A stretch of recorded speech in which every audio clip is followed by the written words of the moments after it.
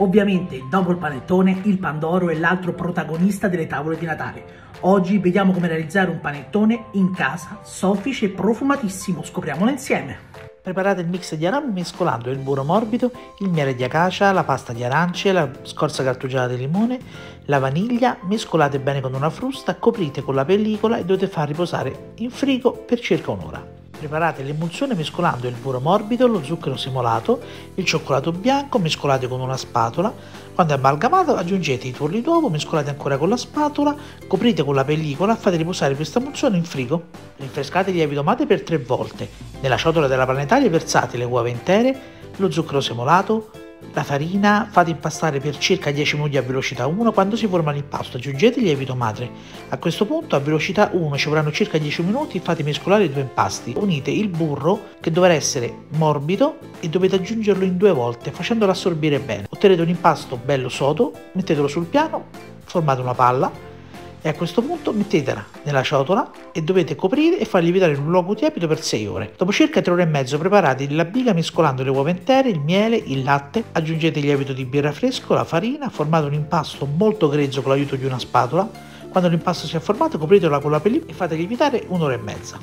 Quando sono lievitati unite i due impasti nella ciotola, aggiungete la farina, i tuorli d'uovo e impastate a velocità 1 per circa 5 minuti e a velocità 2 per circa 5 minuti.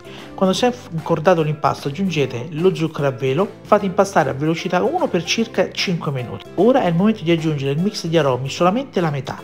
Impastate 5 minuti a velocità 1, aggiungete l'altro zucchero a velo, impastate per 5 minuti a velocità 1, Aggiungete il restante mix di aromi, è il momento di impastare bene per 10 minuti a velocità 1.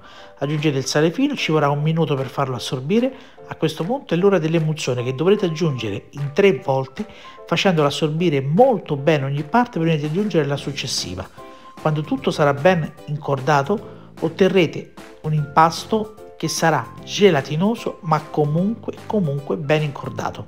Trasferitelo su un piano imburrato, imburratevi anche le mani e dovete fare 4-5 giri di pieghe. In questo modo l'impasto, anche se gelatinoso, comincerà a prendere struttura. Con l'aiuto di un tarocco formate una palla e lasciatelo riposare 40 minuti a temperatura ambiente. Dopo questo riposo fate altri giri di pieghe circa 3-4 e vedrete che l'impasto sarà più compatto, più sodo, lucido e non appiccicoso. Formate di nuovo una palla, rovesciatela sulla mano, pizzicate il fondo per far uscire tutta l'aria, mettetelo su uno stampo imburrato da pandoro, livellate bene fate lievitare 10-12 ore in un luogo tiepido finché non arriva a 2 cm dal bordo. A questo punto cuocete il forno statico 160 gradi per 45 minuti e altri 15 minuti con la porta del forno leggermente aperta. Sfornate, fate raffreddare 2 ore nello stampo, poi rovesciatelo su una griglia, a questo punto dovrà riposare a temperatura ambiente per 10 ore. E dopo questo riposo il vostro pandoro sarà perfetto profumatissimo da spolverare con tanto zucchero a vero, da portare in tavola e fare davvero un figurone. Adesso non resta che mettere le mani in pasta. Trovate la ricetta completa anche sul mio blog.